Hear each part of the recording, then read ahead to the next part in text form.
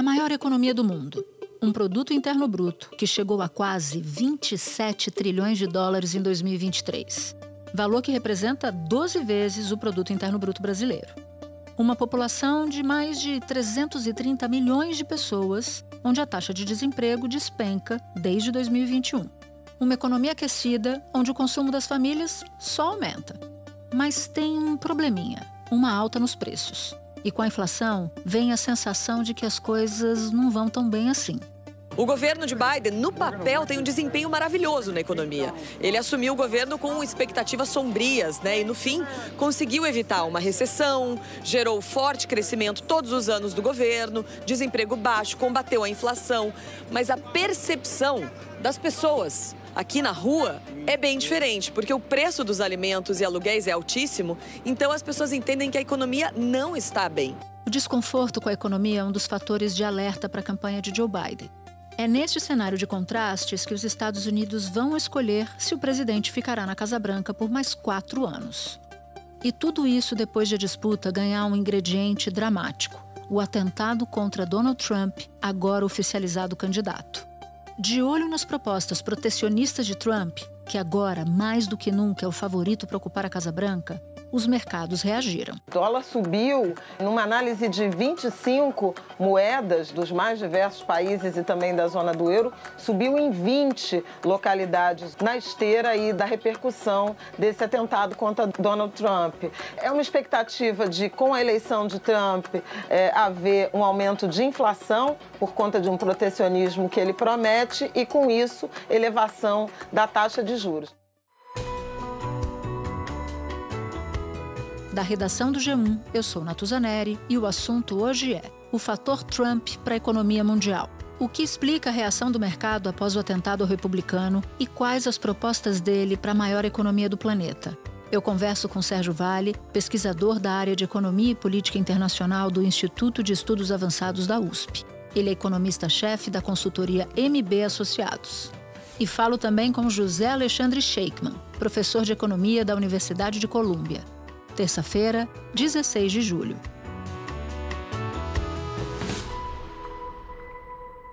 Sérgio, na segunda-feira o dólar se valorizou em várias frentes. Frente ao real, se valorizou frente a outras moedas. Todas as principais criptomoedas também tiveram ganhos. Então eu te peço de largada para nos explicar a partir da percepção de que Trump tem mais chance de voltar à Casa Branca, o dólar e a cripto se valorizaram. É isso que está acontecendo? Por que isso está acontecendo? Eu acho que tem duas leituras aqui, Natuza. É, tem uma leitura em relação ao que está acontecendo nas últimas semanas, né, que é uma probabilidade cada vez maior do Trump vencer a eleição esse ano. Isso já tinha começado a acontecer depois do debate, e isso se fortaleceu agora depois do atentado de sábado. Então, de certa forma, quando a gente olha os dados de segunda-feira, a gente vê que não teve uma variação tão absurda assim, porque já tinha, de certa forma, uma, uma tendência né, eh, do Trump eventualmente ganhar esse ano, pelo menos nas probabilidades. Agora, dessa vez, nesse ano, 2024, diferente de 2016, você tem dois caminhos aqui. Um que o mercado fica mais contente, digamos assim, a gente vê alguns números positivos de reação ao que aconteceu nessa perspectiva do Trump ganhar, que é aquela velha visão de você ter um corte de tributos, isso eventualmente estimular crescimento, uma visão pró-mercado, que eventualmente o Trump teria, e isso costuma agradar parte do mercado. Então, quando ele diz que a arrecadação no governo dele vai ser menor, isso soa como música para os ouvidos do mercado, é isso? Exatamente, Natuza, porque dá a ideia para o mercado que, olha, vai ter corte de impostos, muito provavelmente corte de impostos que vai ser na classe mais alta, ou especialmente nas empresas também, e aí, por conta disso, a reação acaba sendo positiva nos mercados. Agora, tem um ponto diferente dessa vez, em 2024, comparada com 2016, é que a situação fiscal americana agora está muito pior do que era oito anos atrás. Então, é, da mesma forma que uma parte do mercado gosta e tem uma reação positiva, pelo que significa o Trump ganhando em termos de diminuir impostos, diminuir impostos numa situação fiscal tão fragilizada como os Estados Unidos está agora tem implicações negativas também. O déficit público americano está na casa de 7% do PIB, a dívida passou de 100% do PIB, está com tendência de continuar crescendo nos próximos anos. Então, a demanda aqui não é de corte de impostos, é de você fazer um ajuste fiscal, que eventualmente passa por aumentar tributos em algum momento. Então, é, esse segundo semestre, o mercado vai ficar muito interessado sobre o que, vai ser a política fiscal do Trump nos próximos anos. E a sinalização nesse sentido não tem sido muito positiva. E qual é a maior preocupação em relação ao resultado da, da eleição dos Estados Unidos, Sérgio? É essa? É outra? São gerais, né, Natuza? De várias frentes a preocupação. É, a econômica certamente tem essa questão do que, que ele vai fazer em termos de política econômica nos próximos anos. A questão fiscal é uma parte dessa equação, a outra parte é a questão do protecionismo. A gente viu um, um, um, Trump muito protecionista em 2016, levou o Partido Republicano para se tornar protecionista também. Historicamente, eles nunca foram tão protecionistas assim. E agora a gente deve escalonar esse protecionismo, né? deve ter um aumento de tarifas mais significativo do que a gente viu no passado. Então, do ponto de vista econômico, tem uma situação que pode fragilizar a economia americana, porque mais é, é, tarifação, como a gente pode ver acontecer com Trump, e menos impostos do ponto de vista fiscal, vai significar no final os Estados Unidos mais caro e os Estados Unidos com juros mais elevados. Se ficasse só na economia, você poderia resolver essa situação ao longo do tempo de alguma forma. Mas tem a parte política também, a política doméstica cada vez mais polarizada e a política externa. Com o mundo com uma quantidade grande de conflitos, a gente vê um presidente que está querendo se colocar fora desses conflitos, especialmente daqueles que envolvem países democráticos e se colocar próximo, como ele sempre se colocou, de países que são autoritários. O Trump tinha uma mistura de medo e admiração em relação ao Putin. É um dos raros líderes que ele jamais criticou. O Trump nunca fez uma crítica sequer ao Putin. Então, é um Estados Unidos com problemas em várias frentes que a gente pode ter a partir de 2025, e a econômica é só uma delas. Acho muito difícil a gente ter um cenário muito tranquilo, especialmente quarto trimestre, em que a gente vai ter a eleição americana em novembro e as primeiras movimentações em relação ao que o Trump vai, vai fazer se eventualmente ele ganhar. Né? Vai ter sinalização em relação à política econômica, os primeiros nomes escolhidos, o que, que ele vai fazer de fato de política econômica a partir do ano que vem. Isso tende, dado o que a gente espera que ele vai fazer, a possibilidade de trazer muita volatilidade no final do ano, que se junta às nossas volatilidades em relação à nossa questão fiscal, trocas no Banco Central também no final do ano. Talvez quando a gente olha 2024 inteiro, a gente já passou por tanta coisa até agora, o quarto trimestre nos promete aí muitas, muitas emoções, digamos assim. Eu ia justamente te perguntar como esse cenário mexe com a gente, você já deu uma palhinha. Normalmente, em períodos de incerteza, os investidores ficam mais retraídos em relação a colocar dinheiro nas economias emergentes como a nossa. Além dessa, dessa penumbra do final do ano, com troca no Banco Central, também com incertezas em relação à política fiscal brasileira, que, que você está vendo aqui para gente do nosso lado? Pois é, Natuza, esse é o grande problema. Quanto mais incerto, quanto mais volátil o mundo, mais os países emergentes que já têm dificuldades históricas precisam encontrar um caminho mais equilibrado. E isso está sendo exigido, está sendo demandado do Brasil ao longo dos últimos anos e, e a gente está vendo isso acontecer ao longo de 2024. Final do ano, a gente tem esses momentos importantes, que é a percepção do que, que vai ser de fato o fiscal em 2025, se o governo vai conseguir entregar o déficit de zero, que está cada vez difícil de acreditar que isso vai acontecer, e tem as trocas no Banco Central, né? os três novos diretores que vão entrar, o novo presidente, quais vão ser as primeiras sinalizações desse novo presidente, desse novo Banco Central que está vindo aí pela frente. Então, essa conjunção de política fiscal e de política monetária, se não forem bem encaminhadas as duas, a gente tem um risco dessa volatilidade que está acontecendo lá fora com intensidade, contaminar a gente com mais força ainda. Que é repetir, de certa forma, Natuza, o que a gente está vendo acontecer ao longo desse ano. Né? A gente teve problemas nos Estados Unidos em relação à taxa de juros, se ia cair ou não, quando que ia cair. O Fed manteve a taxa básica de juros entre 5,25% e 5,5%, patamar mais alto em 23 anos, onde está desde meados do ano passado. O Fed disse que não deve elevar os juros na próxima reunião, mas, diferente do que vinha indicando, também não deve cortar os juros nesse semestre. O presidente do Fed, Jerome Powell, afirmou que não deve reduzir os juros até ter mais confiança de que a inflação vai afrouxar de forma sustentável em direção à meta de 2% e que ele não sabe quando isso vai acontecer. Por conta do nosso fiscal desequilibrado aqui no Brasil, a gente teve uma reação de câmbio que foi muito maior.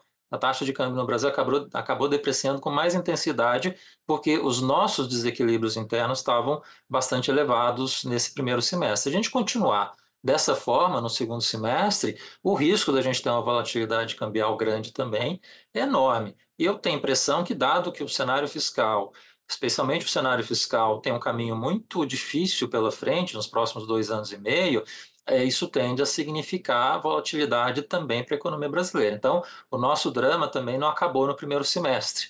Ele, infelizmente, tende a continuar trazendo agruras aí ao longo do segundo semestre. Agora, você falou da questão fiscal, né, dessa incerteza em relação ao Trump, já que ele promete reduzir a arrecadação, portanto, reduzir imposto. Também tem uma taxação às importações dos produtos chineses em altíssimo nível e uma taxação em 10% nos produtos gerais que vêm de outros países. E do lado do Biden, quais são os temores? Tem algum temor? Lá do Biden, apesar do governo Biden ter feito justamente uma política fiscal que foi extremamente expansionista nos últimos anos e por conta da pandemia, historicamente a gente sabe que o Partido Democrata tem uma tendência maior de querer ou de tentar fazer algum ajuste fiscal, que nesse caso, Natuza, assim como de certa forma foi o Brasil ano passado, não tem muito como escapar de passar por algum ajuste que passe pela carga tributária, pelo aumento de impostos. Porque, no caso americano, a população está envelhecendo com velocidade, você vai ter um aumento muito significativo de gastos sociais nos próximos anos. De certa forma, algo que a gente está passando aqui no Brasil também. Então, gasto social com previdência, com saúde da população mais velha, da população mais pobre, está subindo com força e vai continuar subindo. Então, o ajuste tem que passar por imposto. Historicamente, o Partido Republicano e o Trump vão no sentido de cortar impostos. O Partido Democrata, historicamente, quando de frente ao ajuste fiscal necessário, ele parte para tentar fazer algum ajuste fiscal via aumento de tributação, que hoje, como eu falei, talvez seja um dos poucos caminhos que a gente tem pela frente. Então, quando a gente olha os desafios do Biden, do ponto de vista econômico, ele tem, de certa forma, mais boa vontade, instrumentos para lidar com essa questão fiscal do que tem sinalizado o Partido Republicano e o Trump. Um ex-presidente Donald Trump, que acusava a China de roubar os empregos dos americanos uma vez que boa parte da produção das fábricas por aqui foi terceirizada para lá. Aí, em 2018, ele anunciou a primeira rodada de tarifas. Mas alguns estudos mostram que a medida teve efeito inverso e fechou muitos postos de trabalho. Porque a China revidou com taxações que prejudicaram a economia dos Estados Unidos.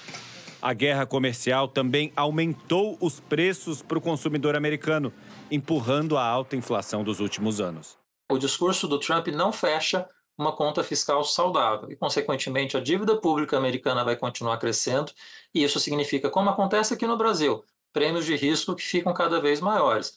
Eu tenho brincado que os Estados Unidos está fazendo um esforço muito grande para se parecer com a América Latina. Do ponto de vista político, ele está conseguindo assim de uma forma impressionante. Do ponto de vista econômico, Natuzo, o que está acontecendo na política fiscal, a gente já conhece aqui no Brasil, na América Latina, há literalmente décadas. Então, em vez da gente virar parecido com os Estados Unidos, os Estados Unidos estão virando parecidos com a América Latina. Só nos falta agora o Canadá para a gente trazer para o nosso lado. Excelente observação, Sérgio. Muito obrigada pela sua disposição de falar com a gente aqui no assunto e explicar tão bem o que pode acontecer por lá. Obrigado, Natuza. Foi um prazer falar com você. Espera um pouquinho que eu já volto para falar com José Alexandre Sheikman. Professor, o Trump tem apontado que, se eleito for, vai trabalhar dentro de um cenário fiscal de arrecadação mais baixa, de, de arrecadação menor. E aí eu te pergunto: qual é o impacto disso para a economia mundial, para a economia global? Olha, o Trump provavelmente, quer dizer, ele anuncia isso, né? Que ele vai fazer mais corte, fiscal, corte de impostos. Quando você faz corte de impostos, os republicanos, desde a época da era Reagan, mais ou menos acredito que se você cortar imposto, você aumenta a arrecadação. Isso simplesmente nunca aconteceu, né? Eu acho que vai ser outro experimento fracassado e, obviamente, se você aumenta o déficit fiscal americano, em algum momento você vai ter que aumentar a taxa de juros. E aumentar a taxa de juros americana aumenta a taxa de juros, é, força os outros países a aumentar a taxa de juros também, né? Então, eu acho que a gente tem que se preparar para esse aumento de taxa de juros. E, aliás, se você olhar hoje o que aconteceu com os preços do, dos, dos bônus do Tesouro de longo prazo, você vê que o mercado está apostando nisso, né? Ah, os preços caíram, que quer dizer que as taxas subiram. Pois é, e aí nesse caso, qual é a repercussão para a economia americana, num primeiro lugar? Porque se você tem um, uma subida de juro, você tem um impacto para a economia americana, mas também tem um impacto para todas as economias do mundo, Brasil incluso. Exato. Então, na economia americana, né, no curto prazo, se isso vem, se isso é resultado de um, de um déficit fiscal, é, eu acho que o impacto pode ser, normalmente tem sido positivo no curto prazo e ruim no longo prazo, né? Quer dizer, no curto prazo você tem uma certa, uma certa aceleração da economia, você vê que as pessoas têm mais dinheiro no bolso, mas é, no longo prazo você tem um aumento das taxas de juros e, portanto, uma desaceleração da economia. Essa experiência histórica, e eu acho que não há nenhuma razão para duvidar que essa de novo vai ser a experiência do corte de gasto, do corte de impostos imposto pelo Trump. Quando isso acontece, evidentemente, a gente acabou de ver isso, né? Quando você tem mesmo um, uma, uma mudança na expectativa da queda da taxa de juros americana, você vê que você tem um aumento, a situação do Brasil fica mais complicada, como ficou recentemente, né? Nós temos a maior economia do mundo, que está com taxas de juros muito altas, e isso acaba atraindo o capital do mundo inteiro e faz com que os vários países do mundo acabem sofrendo uma desvalorização das suas moedas. É algo que está acontecendo em praticamente todos os países. Mas alguns países sofrem mais do que, do que outros. Né? Então a gente observa essa desvalorização do real, que é das maiores, é a maior entre as principais moedas do mundo. De novo, a história mostra que aumento de taxas de juros americanas é, prejudica o crescimento mundial no longo prazo. Conheço uma pessoa que tinha uma máxima, professor, que todo mundo, o mundo inteiro deveria votar na eleição americana, porque tudo que acontece lá repercute no mundo inteiro. É, a economia é muito grande, mas isso poderia ser dito hoje também da economia americana, certamente, mas também da economia chinesa, onde praticamente ninguém vota, né? Exatamente, tem toda a razão. Eu queria tratar de um outro ponto contigo, que é a promessa do Donald Trump de aumentar a taxa em 10% de todas as importações e de 60% em relação aos produtos chineses, já que a gente falou da China. Quais são as consequências disso na cadeia de produção global? Olha, em primeiro lugar, mesmo para os Estados Unidos, o Trump fez esse aumento de impostos esse aumento de imposto de importação no primeiro governo dele, e a análise econômica, isso foi bastante negativo. Né? Parte porque o Trump, como alguns economistas não ortodoxos também, não entende a questão da, da, da proteção efetiva. Né? O que aconteceu nos Estados Unidos foi que ele aumentou a proteção para o aço, e o que acontece? As fábricas de geladeiras se mudam para o Canadá que tem um acordo de livre comércio com os Estados Unidos. Né? Então, esse tipo de coisa, quer dizer, os economistas, muitas vezes, quer dizer, os economistas bem treinados entendem bem que muitas vezes, quando você protege um setor, você desprotege outro setor. Uma, um exemplo muito importante para o Brasil, por exemplo, foi a política de informática, né? que, de uma certa maneira, protegeu o, o setor de produção de computador, mas desprotegeu todo o setor automobilístico, todo mundo que, que emprega tecnologia baseado em informática. Então, esse é um resultado que acontece muito na economia mundial. E aqui nos Estados Unidos aconteceu com a proteção do Trump, com a do Trump, e vai acontecer de novo. Né? Bom, claramente Trump e Biden têm posições opostas em relação à guerra da Ucrânia. Isso foi visto no último debate que o Biden, inclusive, perdeu o Trump diz que não se pode gastar um mundo de dinheiro com essa guerra. Como é que os economistas e o próprio mercado avaliam uma possível mudança na condução da política externa dos Estados Unidos? O que ele tem anunciado é que ele vai parar de ajudar o governo da Ucrânia. E se isso acontecer, evidentemente, é, vai ser um problema para a Europa, vai ser um problema para os países, outros países fronteiriços com a, com a Rússia, né? países como as repúblicas bálticas, etc., e vai ser, e vai ser um problema muito grande para a Ucrânia. Trump acaba de anunciar numa rede social quem será o vice dele. O vice escolhido é J.D. Vance, senador por Ohio, ele tem 39 Exato. anos. Ele é um forte crítico da ajuda americana à Ucrânia, ajuda bilionária dos Estados Unidos para a Ucrânia. Ele defende que os Estados Unidos façam uma mediação para um acordo de, de armistício, de um cessar-fogo entre a Rússia e a Ucrânia, porque na visão dele, uma visão mais realista, a Rússia inevitavelmente ficará com uma porção do território ucraniano. Agora, para terminar, uma pesquisa divulgada na segunda-feira pelo Financial Times e feita antes do atentado contra o Trump indica que o eleitorado americano prevê um cenário econômico melhor caso Trump seja eleito, caso ele retorne à Casa Branca. O que é curioso nessa sondagem é porque a administração Biden tem apresentado bons resultados na economia. Então fica difícil entender o porquê dessa percepção. O que, que distancia a macroeconomia da percepção real dos eleitores norte-americanos, professor? Olha, há várias ideias sobre isso. Eu acho que nenhuma delas está, estão exatamente demonstradas, mas te dão alguma pista, né? Uma é o papel das mídias sociais, né? que hoje a diferença do que as pessoas acreditam e o, que e o que acontece, não só na economia, mas em outras coisas, fica muito distanciada às vezes. Né? A outra é que a experiência de inflação, que não foi só no governo Biden, mas foi no final do governo Trump no governo, e no começo do governo Biden, que teve causas, a parte foi fiscal, mas uma parte teve a ver com a desorganização do sistema de produção mundial durante o Covid, né? Isso tudo deixa, deixa as pessoas, olham hoje e dizem, os preços estão mais altos. Evidentemente, o Trump não vai reduzir os preços. Isso não vai acontecer. Mas a ideia, as pessoas têm uma ideia de que os preços não eram Trump, para eles eram mais, as coisas eram mais fáceis de comprar. O que também não é estritamente verdade, que a renda média tem aumentado mais em termos reais. Mas de algum momento as pessoas têm a percepção, olha, eu comprava isso por X e agora me custa 2X. Isso está levando as pessoas a, a ter essa, essa visão errada do que está acontecendo com a economia, né? Professor, foi um prazer imenso tê-lo aqui, uma honra mesmo para nós recebê-lo no assunto. Por favor, volte outras vezes. Olha, o prazer foi meu, hein? É um programa muito importante que eu acho que vocês informam muito o Brasil. Muito obrigado. Para você que ouviu o episódio até aqui, eu vou te fazer um convite: participar do canal do G1 no WhatsApp. Por lá você pode ativar as notificações e receber as principais notícias do dia direto no seu celular.